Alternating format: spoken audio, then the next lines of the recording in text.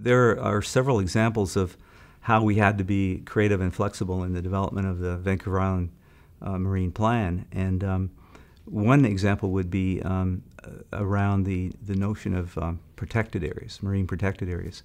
Now, um, although that's, uh, that's something that we were uh, essentially required to consider in the development of our plan as an output, we, um, we knew we were going to have a bit of an issue with our, with our member First Nations, our seven member First Nations, because a number of those have had um, somewhat negative experiences with um, government in the past around establishment of, of uh, marine provincial parks. And um, so we knew that we were going to have a bit of a challenge if we, if we went and told our member nations that, hey, guess what? Um, our plans are going to develop uh, marine protected areas.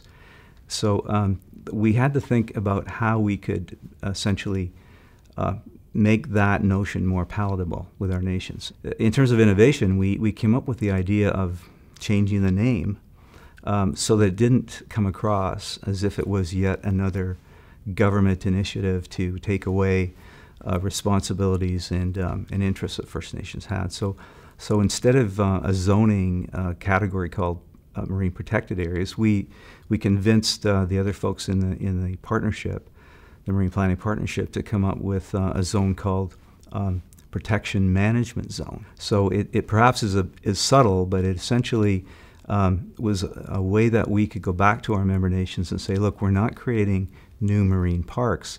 We're just um, identifying an area where protection of values and interests uh, is a management priority.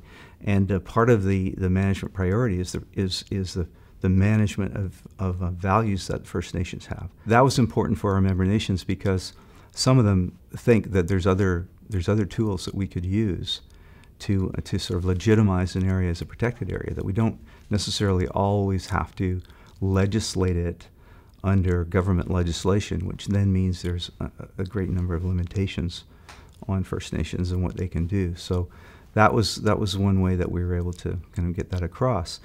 And moving forward uh, in that area, we're, we're looking at different tools that we could be using to designate areas for protection that, that better reflect First Nations interests in protection, that, and that they may not they may not necessarily result in a federal or provincial legal designation.